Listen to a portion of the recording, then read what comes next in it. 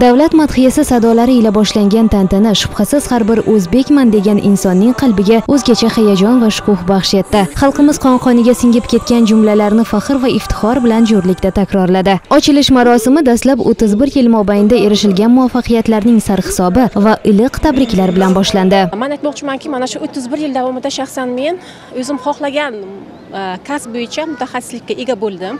Mahallabay ishlash tizimi doirasida e, qo'qon shahar arabxona mfda hokim yordamchisi lavozimida ishlab kelmoqdaman.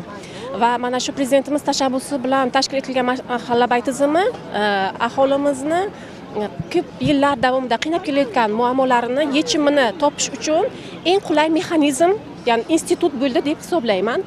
Yana mahallaga mana yoshlar yetakchisi hokim yordamchilarini berilishi biz nuroniylar xotin qizlar birgalashib aholining ehtiyojlarini aniqlash ularga manzilli yordam berishda katta ahamiyatga ega bo'lyapti. Xursandmiz ana bayramga o'tiribmiz ana chaqiryaptilar duo qilamiz hamisha mana shu mustaqilligimiz abadiy bo'lsin bardavom bo'lsin. Ko'rsatkichlarga e'tibor qaratadigan bo'lsak joriy yilning o'tgan davrida yettita ta'lim maskanlari yangidan qurilib 61 tasi qayta ta'mirlandi. 17 ta tibbiyot muassasalarida 76 milliard so'm mablag' ajratilib qurilish va ta'mirlash ishlari olib borildi va shu bilan birga 60 ta mahallada tibbiyot punktlari tashkil etildi. Berilayotgan bunday imkoniyatlar va keng shart sharoitlarga javoban yoshlar ko'plab yutuqlarga erishib kelishmoqda.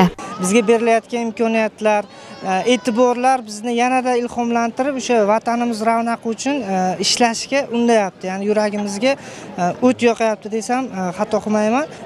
Yaqinda buxoro viloyatida yoshlar turizm elchisi etib saylandim. Men bundan juda yam xursandman mana shu buxoro viloyatida turizmni rivojlanishi yoshlarni turizmga qiziqishini yana ham oshirishda o'z hissamni qo'shaman deb va'da beraman. Bayram tantanasi yosh ijrochilar viloyat hamda respublikamiz san'at ustalarining chiqishlari bilan yig'ilganlarga o'zgacha kayfiyat ulashdi. Bu kabi tadbirlar joylarda davom etmoqda.